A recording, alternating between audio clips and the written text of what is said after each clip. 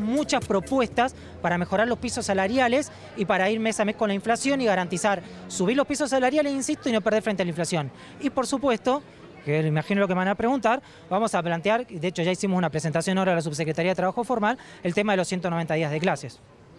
Sí, al respecto, bueno, lo, que, lo que ya venimos diciendo desde ayer, ¿no? Justo cuando uno cree que el gobierno no puede alejarse más de la realidad, han iniciado un nuevo viaje al espacio exterior con esto, ¿no? Es decir, están viajando al planeta cada vez más alejado de lo que pasa en el sistema educativo.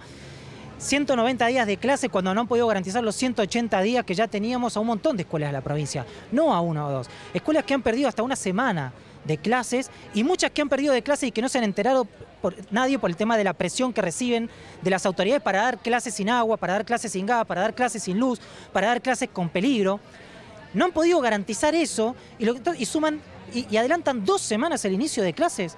Es más, hoy la jefa de gabinete de la DG reconoció en una entrevista en un canal de televisión que no hay ninguna prueba científica ni estadística que demuestre que sumar días de clase mejora la calidad educativa. Todo lo contrario, hay países que tienen mucha más calidad educativa medida por los propios organismos internacionales que nosotros cuestionamos y tienen menos días de clase que la Argentina. Con esto tienen que saber que están incendiando las escuelas.